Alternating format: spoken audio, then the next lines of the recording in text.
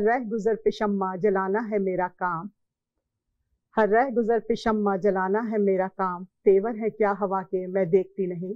आज हमारे दरमियान बहुत खूबसूरत शख्सियत आसिम जासिर साहब मौजूद हैं स्टूडियो में। मैं इनको खुश आमदीद कहती हूँ।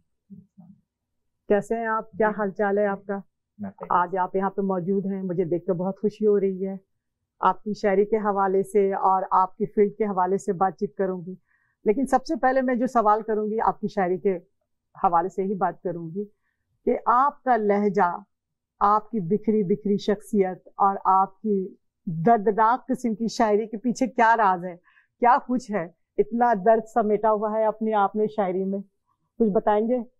नहीं मैं नहीं समझता कि मेरी शायरी में इतना ज़्यादा मुझे लगता है नहीं लगता है। जैसे शायरी अगर आप दर्द जैसे मीर जैसे मीर की शायरी है ठीक है हाँ। तो लेकिन मेरी शायरी बहरहाल उसमें आप कह सकते हैं कि थोड़ी सी उसमें उदासी ज़रूर आपको मिलेगी। लेकिन शेर में कुछ ऐसा होना चाहिए मैं समझता हूँ कि जिसको हाँ उदासी आ, कह ले दर्द कह ले या कर्ब कह ले यानी हर शख्स जो शायर है वो हसास भी होता है है ना? और शूर की आगे ही उसकी ज़िंदगी होती है और उसी को वो लेकर आगे चल रहा होता है। तो आपकी शायरी और आपकी फ़ील्ड दो बिल्कुल मुख्तलिफ़ चीज़ है। ठीक है आप फार्मासिस्ट हैं माशाल्लाह से। तो आपको ये कैसे ख्याल आया कि आप शायरी भी शुरू कर दें या ये कि बचपन से था आपको? पहले शायर थे या फार्मासिस्ट बनने का ख्याल आया आपको पहले? नहीं शायर कोई भी अपने तौर पे नहीं बनता है। ये तो कुदरती सी बात है कि इंसान में रफ्ता रफ्ता जैसे अगर आपका कोई अदबी पस मंज़र है आपके कोई ख़ानदानी अदबी पस मंज़र है तो उससे भी आप में असरात आते हैं। बिल्कुल फिर आपके इर्द गिर्द के जो भी हालात हैं उसके लिहाज से भी कभी ऐसा हो जाता है। और बाकी जहाँ तक ये बात है फार्मासिस्ट बनना वो बाय चॉइस नहीं था। क्योंकि हाँ, हाँ। मेरी ख्वाहिश थी मैं डॉक्टर बनूं लेकिन मैं बहरहाल डॉक्टर नहीं बन सका। तो, तो फार्मासिस्ट बन गए। फार्मासिस्ट बन गया। अच्छा बिल्कुल सेम यही स्टोरी है मेरे मियाँ के साथ में भी कि वो फार्मासिस्ट अगर मैं उनसे पूछती हूँ तो वो कहते कि नहीं मुझे फार्मासिस्ट नहीं बनना था बन गया। मुझे तो डॉक्टर बनना था। तो आपने भी यही कहा कि मुझे डॉक्टर बनना था फार्मासिस्ट बन गया। ऐसा होता है कभी कभी कि आदमी जो कुछ भी चाह रहा हो नहीं होता है। तो आपने ये कहा कि शायद आपके घर आना आपके घर का माहौल यानी ऐसा था कि आप लिखने पे या अच्छी शायरी पढ़ने पे मजबूर हुए जी कह सकते हैं क्योंकि ऐसा तो नहीं कि घर में कोई बाकायदा कोई साहब किताब शायर हो इस हाँ, तरह हाँ. तो नहीं है लेकिन बहरहाल अदबी एक अदबी माहौल मैं समझ मेरे जो बहन भाई हैं मेरे वालदेन हैं उनको शेरी शवक था जिसकी अच्छा। वजह से मैं समझता हूँ कि उसका कुछ ना कुछ असर मेरे डीएनए में भी आ गया। अच्छा ये बात थी यानी कि हाँ पढ़ने लिखने का एक माहौल होता है और एक ये होता है कि घर में आप सबको देख रहे हैं। तो वो फिर खुद ब खुद हो जाता है। और ये आपने अच्छी बात की कि कोई भी शायर खुद से शायर तो नहीं होता है। ये तो मुझे भी पता है कि ये आगही का जज्बा जो होता है तो वो गैर इरादी तौर पर ये शायद अल्लाह की देन होती है। ठीक है। लेकिन आपको ये याद तो होगा कि कितनी उम्र थी आपकी कितने छोटे थे कितने बड़े थे जो शायरी फ़र्स्ट शुरू किया आपने पहली शायरी आपकी कब? बहुत छोटी उम्र में की आपने। उम्र का जहाँ तक सवाल है तो मैं ज़ाहिर है कि मैं उसे बचपन ही कहूँगा जैसे सात सातवीं आठवीं जमात की हाँ, बात है तो। यही उम्र होती है। उस वक्त से थोड़ा बहुत कुछ लिखना शुरू कर दिया था फिर उसके बाद में जब कॉलेज में आए तो कॉलेज में आके थोड़ा उस में हमारे उर्दू के एक उस्ताद थे कंबर दहलवी मरहूम। तो उन्होंने मुझे काफ़ी मेरी रहनुमाई की। पॉलिश की आपको? जी बिल्कुल। तो आपके उस्ताद थे? मैं उन्हें अपना उस्ताद ही कहूँगा बेशक। तो सबसे ज़्यादा किसको पढ़ा आपने? किससे मुतासिर हुए आप? सबसे ज़्यादा मैंने देखें मुतासर तो मैं इस में ही हुआ हूँ जैसे मीर और गालिब का ही मैं नाम हाँ। लूँगा। और बाकी पढ़ा नए शरा में भी पढ़ा है और पुरानों में भी पढ़ा है। हम्म। जैसे कॉलेज की लाइब्रेरी थी तो वहाँ पर जो उर्दू शायरी की किताबें हुई मौजूद थी उसमें नासिर काजमी थे इफ्तार आरिफ थे हाँ, हाँ। इब्न इंशा थे और इस की कुतुब तो बहरल थी। और इस तरीके से मैं समझता हूँ कि मैंने इस को भी पढ़ा और नए शोरा में भी इस सदी के शोरा को भी थोड़ा बहुत पढ़ा। यानी कह सकते हैं कि कदीम और जदीद। जी। दोनों का शुमार होता है। तो वो मैं ये समझती हूँ कि जो कदीम शायरी थी हमारी उसमें बड़ा ठहराव भी था रख रखाव था। आपकी जदीद शायरी में और कदीम शायरी में मुझे थोड़ा सा फ़र्क लगता है आपकी शायरी में ठीक है? अब लोगों में इतना मुझे लगता है कि जैसे ठहराव नहीं है। हर शख्स चाहता है कि मैं बहुत माजत के साथ मशहूर हो जाऊँ मेरी किताब आ जाए और मैं महफिलों में पढ़ने लगूं लेकिन पहले ये बात नहीं थी।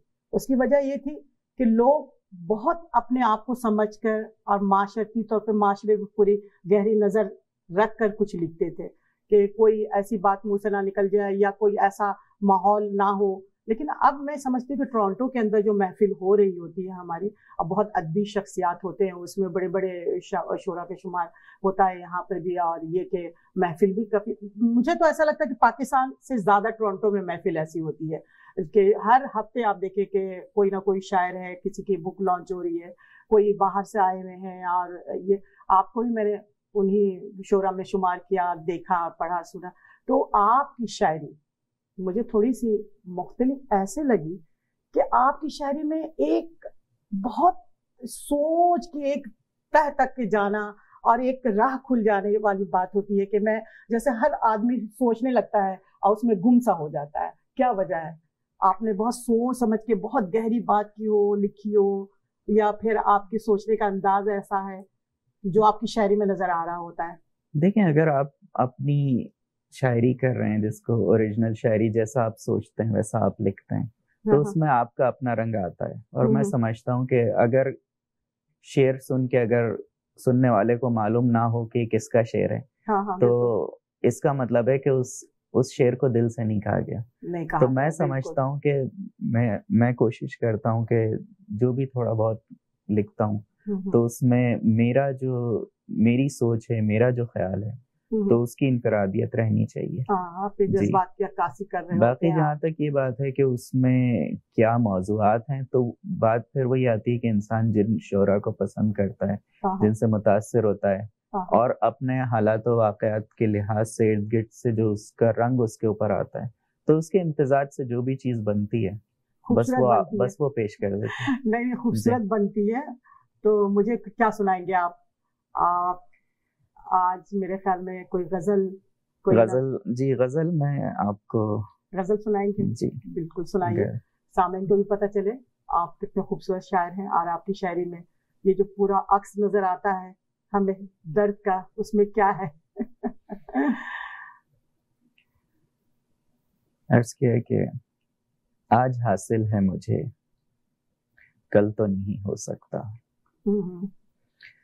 आज हासिल है मुझे। कल तो नहीं हो सकता। कोई मौसम हो मुसलसल तो नहीं हो सकता।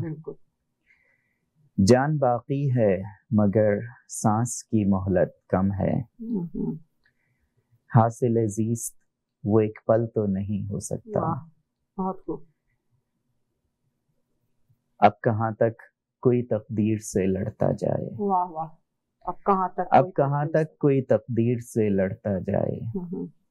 वो मेरे इश्क में पागल तो नहीं हो सकता। वाह बहुत बहुत अब हवा रेत में कश्ती भी चला दे लेकिन।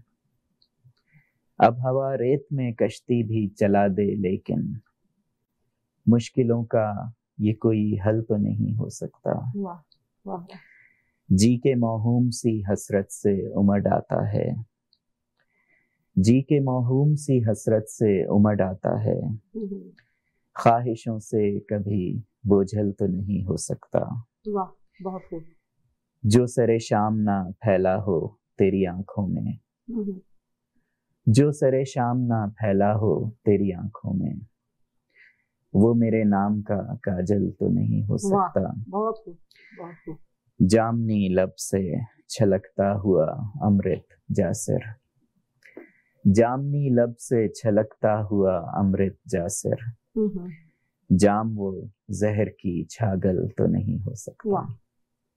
वाह बहुत शुक्रिया। बहुत बहुत खूब बहुत खूबसूरत। बहुत है ये सर में ये आँखें अंदशीली आँखें ये बिखरे बिखरे से आप इनका ज़िक्र बारह आता है। आपकी शायरी में बहुत खूबसूरत लगता है लहबो लहजा और अंदाज बहुत मुख्तलिफ़ है और लोगों से। बहुत खूबसूरत माशाल्लाह बहुत अच्छी शायरी है आपकी। बहुत शुक्रिया। और ये कि आपके हवाले से ही बात करूँगी मैं कि आपने जैसे कहा कि आपका ताल्लुक जो कि अदबी घराने से था और पढ़ने लिखने का शौर किया गया वहीं से आता है। ज़ाहिर घर का माहौल बहुत ज़्यादा असरअंदाज होता है।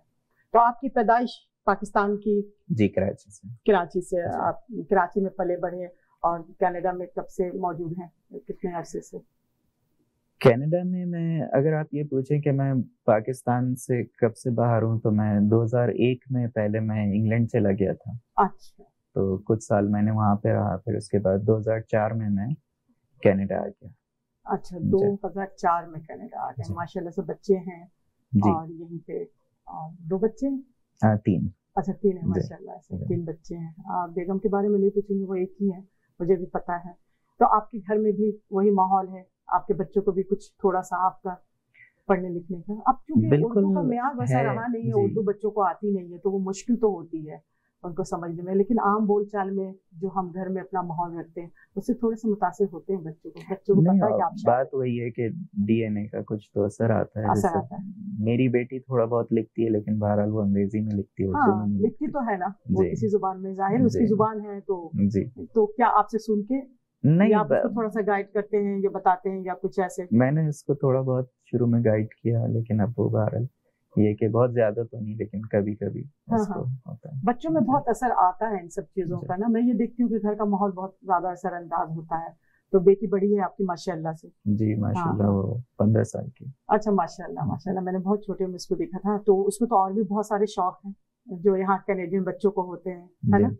कि वो कुत्ते और बिल्ली और हाँ, ये जानवरों को उसने अपना एक बड़ा छोटा सा एक उस बिज़नेस बिज़नेस शुरू किया हुआ उसने। पेट सिटिंग पेट ग्रूमिंग वाह भाई वाह तो हाँ, हमारे यहाँ बस आम, आमद और रहती है। बेसमेंट हाँ, में उसने अपना एक सेटअप बनाया हुआ है। ने पूरा अच्छा बेसमेंट में पूरा डे केयर खोला हुआ है। जी कैसे उसमें किस किस्म के होते हैं एनिमल्स पैट होते हैं? उसमें जैसे ज़्यादातर बिल्लियाँ आती हैं लेकिन उसमें कभी जैसे हाँ, और खरगोश वगैरह आ जाते हैं। कभी बाज जानवर अब एक जानवर होता है चिंचिला हाँ, हाँ। अब ये चिंचिला क्या है? ये हमने उससे जब वो घर में आया तो पता चला कि चिंचिला क्या होता है। अच्छा मैंने भी पहली दफ़ा नाम सुना है।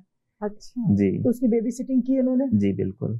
वाह भाई वाह बहुत बड़ी बात है। तो लेकिन ये शौक हुआ कैसे उसको? यहाँ बच्चों को देखकर या कुछ ये स्कूल में ये कैसे हुआ? मैं इससे बड़ी मुतासिर हुई जब मैं फ़र्स्ट टाइम फेसबुक पे हाँ। आपकी बेटी को मैंने देखा बैठ के साथ में और फिर उस पर ये देखा कि डे केयर वो चला रही। तो मैं बड़ी सरप्राइज़ हुई। उस वक्त तो बहुत छोटी थी वो। जी हाँ। में नौ दस साल की होगी वो। नहीं उससे भी जब वो आठ साल की थी तो हाँ। बड़ी अजीब सी बात लगती है। आ, लेकिन सिर्फ़ आठ साल की उम्र में उसने वॉलेंटियर एज अ वॉलेंटियर काम किया पेट स्मार्ट में। वाह बड़ी बात है भाई। तो हाँ। मैं उसको लेकर जाता था और वहाँ पर उसने उनकी क्लीनिंग और ये सारी चीज़ें। अच्छा वाह बहुत खूब। बहुत अच्छी बातचीत हो रही है अभी हमारे शायर साहब से और उनसे अभी बहुत कुछ जानना है मुझे और मैं जाती हूँ एक छोटी सी ब्रेक की तरफ़।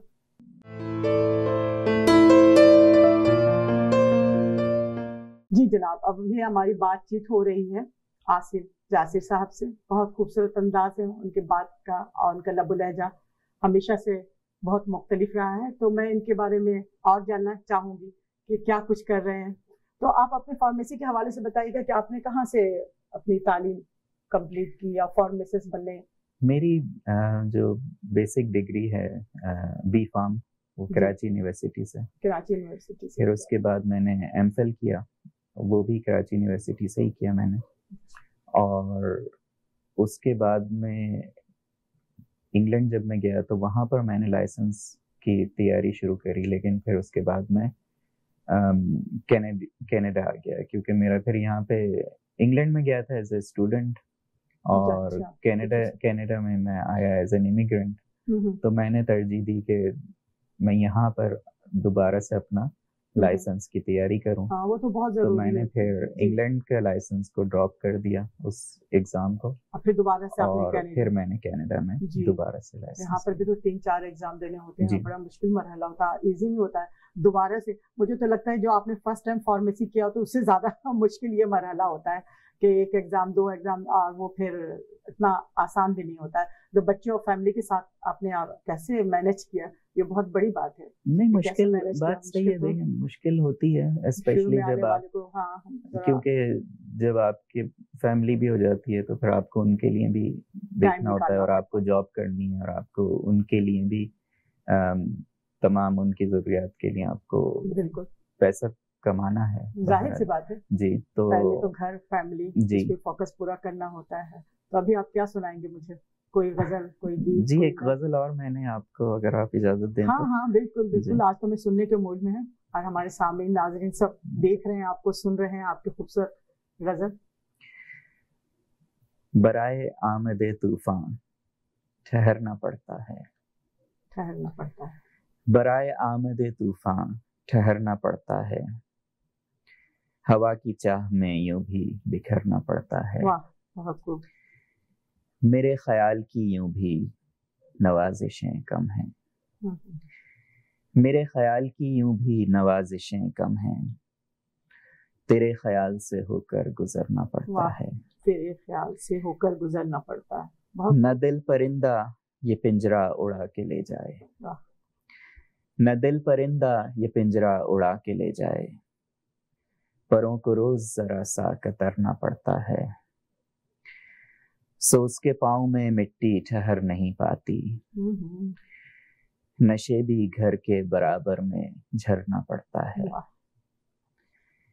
लबों के लम्स को शिद्दत से याद करने को किसी गुलाब को हाथों में भरना पड़ता है। करम के दौर में मशक़ सितम भी है लाजिम। बुलंदियों से वगरना उतरना पड़ता है। अब इस मुकाम से आगे तो रास्ता भी नहीं। कहाँ पे देखिए जी का पसरना पड़ता है। तुम्हारी याद का सहरा हरा ना हो जाए। सो मुझको आज भी बादल से डरना पड़ता है। बहुत खूब। मुझे भी शाम से खुद की भी सुध नहीं रहती। उसे भी याद से अक्सर मुकरना पड़ता है। वाह सफेदियों में बसी है गुलाब की खुशबू। फना के बाद भी क्या क्या संवरना पड़ता है। हम्म। किसी की आँख में खुशियाँ तो देख ली जासिर। किसी की आँख में खुशियाँ तो देख ली जासिर मगर वो जब्र जो काजल को करना पड़ता है। बराए आमदे तूफ़ान ठहरना पड़ता है। हवा की चाह में यूँ भी बिखरना पड़ता है। वाह बहुत शुक्रिया। बहुत खूब बहुत खूब बहुत खूबसूरत तो क्या आपका नेक्स्ट क्या प्लान है क्या आपकी बुक आ रही है इंशाल्लाह ताला क्योंकि बहुत बिज़ी रहते हैं मुझे मालूम है। बहुत मसरूफ है। बस हर साल सोचते हैं कि इस पर हाँ। काम करें। अभी भी इरादा तो है कि अगर गर्मियाँ गर्मियाँ जब उसमें कुछ वक्त मिलता है हम्म, बच्चों हम्म, की हम्म। छुट्टियाँ होती हैं तो उसमें कुछ इरादा है कि इस पर पेश पेशरफ की जाए देखें कहाँ तो तक क्या किस नौयत की होगी? आप क्या समझते हैं कि आपकी इन्हीं शायरी को जैसे मैंने कभी ज़िक्र किया था तो उसमें क्या गीत गज़ल और ये क्या मतलब मैं समझता हूँ कि उसमें सब कुछ मिले जुले होंगे उसकी कुछ उसमें नज़में वगैरह होंगी और ज़्यादा क्या लिखा आपने? गज़ल लिखी ज़्यादातर मैंने गज़ल लिखी है जी। गज़ल लिखी है आपने। तो नज्म भी लिखी है आपने? नज्म लिखी है लेकिन नसर में तो इतना ज़्यादा मैंने काम नहीं किया। नहीं आज़ाद नज्म में भी नहीं किया तो पाबंद? पाबंद ही कहिए आप भाई आपकी जो शख्सियत है उस हवाले से मुझे तो ऐसे ही लग रहा था कि गज़ल के शायर हैं आप। और ये बिल्कुल सही भी है कि गज़ल के शायर हैं कि यानी आपकी किताब इंशाल्लाह मैं दुआ करती हूँ कि जल्द आए आपकी किताब और मैं इसको पढ़ूँ और ये कि उसमें ज़्यादातर गज़ल ही होंगे है ना? ज़्यादातर गज़ल होंगे। तो कभी गीत लिखने का भी ख्याल आया आपको कि जैसे गीत लिखे गुनगुनाने का थोड़ा बहुत लेकिन ये है कि बहरहाल मेरा उसमें आ, मैं ये तो नहीं कहूँगा बहुत ज़्यादा हाँ हाँ। लेकिन जैसे कभी कोई मौका है इस तरह का जैसे एक बार मुझे याद है कोई किसी ने कहा था चौदह अगस्त के हवाले से तो वो हाँ, हाँ। मैंने लिखा था। और बाकी लेकिन उस गीत मैंने कम लिखे हैं। गीत कम लिखे हैं। हाँ, हाँ। और ज़्यादातर आप कहिए कि मैंने गज़ल। गज़ल पे ही गज़ल के शायर। जी जी गज़ल है। आपने कहा कि मीर को पढ़ा आपने और ये गालिब को पढ़ा।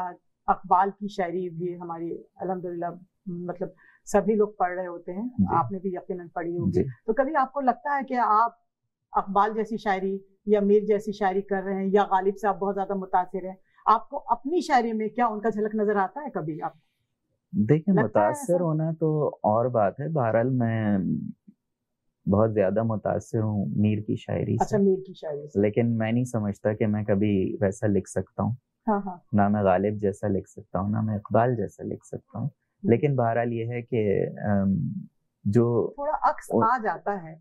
अक्स अक्स आ जाए यही बड़ी बात है। हाँ, हाँ, लेकिन तो ये है कि मीर की शायरी बहुत खूबसूरत शायरी है और थोड़ा सा मैं समझती हूँ कि और शायरी से थोड़ा सा हट कर भी है। शायद आपकी शख्सियत का भी ये हिस्सा है। मैंने जहाँ तक देखा है कि आपकी शायरी में माशाल्लाह से वो सारी चीज़ें आती हैं जो मीर की शायरी में है। झलक आता है ये सारी चीज़ें होती हैं। तो अब नेक्स्ट जो आपका है कि आपकी किताब आएगी इनशाला ताला। और उसके बाद में फिर आपने ये कि वो गज़ल की किताब होगी गज़ल ज़्यादा होंगे उसमें नज्म और गीत कम होंगे है ना? वो पूरी शायरी होगी और ये होगी सारा कुछ उसमें होगा। तो आप जो फार्मेसी के मेडिसिन के फ़ील्ड में है और आपकी ये शायरी है ठीक है ना? तो आपको कभी लगता है कि मेडिसिन मैंने पढ़ा है तो मैं उसमें पूरा अपने फ़ील्ड को उसको आगे लेकर के चलूँ कभी फार्मेसी या कभी कुछ ऐसे या कि फिर आपने ये सोचा कि मैं अच्छा शायर हूँ सिर्फ़ शायरी करूँ या फिर दोनों को लेकर आप चल रहे हैं ये क्या है? नहीं कोई एक चीज़ तो हो भी नहीं सकती। हम कौन सा बहादुर शाह ज़फ़र के दरबार में है कि हमारा वजीफा लग जाएगा। हाँ बिल्कुल। तो बहरहाल जो ये है कि जैसे फैज ने कहा था कि तुझसे भी दिल फरेब हैं गम रोज़गार के। गम रोज़गार तो बहरहाल गम जाना अपनी जगह लेकिन गम रोज़गार बहरहाल साथ रहना चाहिए। हाँ अगर आपको वो तो सिलसिला जारी होगा ज़ाहिर है आपकी फैमिली आपका घर और ये के सबको सबसे पहले तो यही होता है कि रोजी रोज़गार जो भी शुरू में यहाँ पे कनाडा के अंदर आए हैं जो लोग भी आए हैं तो उनका सबसे पहला मसला तो यही होता है कि वो अपने आप को अपग्रेड करें, ठीक है ना? और अपनी फैमिली को लेकर चलें। उसके बाद ये जो शौक है, शायरी है, वो तो ठीक है, अलग सी चीज़ है। वो तो कभी खत्म नहीं होती है। अंदर से कुछ ना कुछ कुछ ना कुछ निकल रहा होता है और आपकी शायरी है। लेकिन ये जो चीज़ है कि जहाँ रोजी रोज़गार, घर और फैमिली और बच्चे, ये सारी जो चीज़ें होती हैं, वो तो ज़्यादा इम्पोर्टेंट होती हैं। और उसके बगैर तो मैं नहीं समझती हूँ कि थोड़ा सा अगर आप कोई नज्म के दो चार मुझे बहुत इश्तियाक हो रहा है कि आपसे थोड़ी सी नज्म सुनी जाए एक दो बंद दो वर्ड ही बोल दें बिल्कुल टाइम जरा कम होता है लेकिन मुझे ये लग रहा है कि मैं ज़्यादा से ज़्यादा सुन लूँ मैं आपसे। आपको एक छोटी सी नज्म सुनाता हूँ। हाँ बिल्कुल सुनाइए मुझे अच्छा लगेगा। इस नज्म का उन्वान है दिलासा। दिलासा वाह। बहुत दिनों से फलक पे तारे चमक रहे हैं। बहुत दिनों से नदी की लहरें थमी हुई हैं। सुनो ए प्यारी कि कुछ दिनों से मुझे वो दिन याद आ रहे हैं। वाह बहुत हँसी हँसी में रुला रहे हैं। वो कैसे दिन थे कि खुश्क पत्ते से उड़ रहे थे। तुम्हारे आंचल तुम्हारी बाहों में गिर रहे थे। हम्म, बहुत दिनों तक हवा ने तुमको छुआ था शायद। कहो ए प्यारी कि अपनी धीरे से छप दिखाकर कहाँ छुपे हो? या मेरी आँखों के पानियों में रुके हुए हो? बहुत बहुत दिनों से तुम और मैं अलग अलग हैं नरो ए प्यारी कि हम पे गुजरे हैं वो भी लम्हे। हम्म। बहुत सी खुशियाँ बहुत दिनों तक। बहुत बहुत खूबसूरत इतना खूबसूरत अंदाज है।